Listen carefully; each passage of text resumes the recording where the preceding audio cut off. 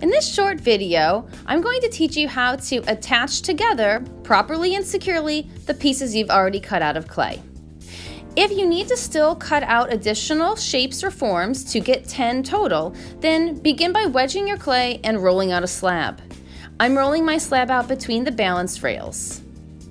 Again, you need 10 or more shapes or forms in your final sculpture. So if you were absent last class, or if you just didn't really get enough done, use your time today to cut out those 10 shapes or forms. Then, once you have 10, you're ready to start figuring out how you want to put them together. You can manipulate the shapes to play with form. That means you can bend the clay, you can twist the clay, experiment and see what you come up with. During this process, if you decide you don't really like the way that your sculpture is looking, you're allowed to change your mind. You're allowed to make your sculpture different than your original sketch. But when you're happy, here is how you attach your forms. First, use a needle tool and trace the area that you're going to be attaching to, and then score it up. To score clay, you need to make lines in at least two different directions, like cross hatching. Then apply some slip.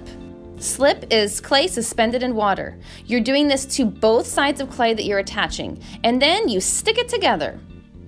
Once the clay is stuck together, you must then smooth out the attachment point. Take a wooden modeling tool and connect the clay from one piece into the next. As you attach clay together, of course, you want to still be thinking about good craftsmanship. You want to smooth areas out and make them look neat as you go. That way you don't have to do it all at the end. So as I worked on this piece, I decided I wanted to bend that original triangle to make it look almost like a wave.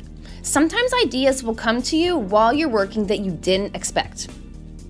All right, so I'm gonna score and slip another piece together now. So watch how I score up both sides where they're going to attach, apply my slip, and then stick it together. And then once it's firmly stuck down, I'll use my wooden modeling tool to blend that connection point so that we don't see a line where the two parts meet.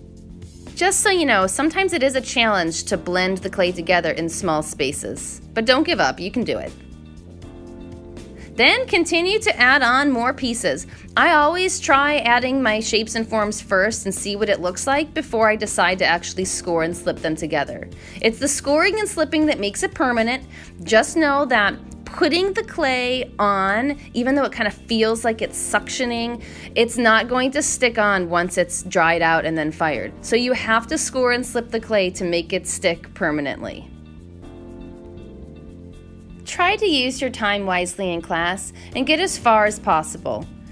I would hope that everyone could score and slip at least one form onto their base today. And by the end of today's class, everyone should be done cutting out all 10 of their shapes and forms. And then, like last class, you're going to place your wet paper towel on top of your project before putting it in your bag. Make sure you zip your bag and then carefully place your project into the cabinet as directed. Alright, here's a preview of my finished sculpture.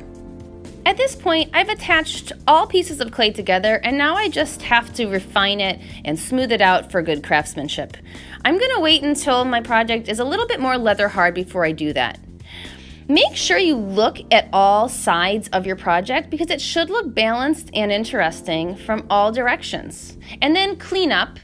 We're going to clean up just like last class. Put tools in the box, close the box, place all usable clay into a ball, and then shake out your mat carefully into the garbage can. You'll then need to return all materials to their correct locations on the clay cart. And then please wash your table using a, a sponge and then dry it off so that it's nice and ready for the next class.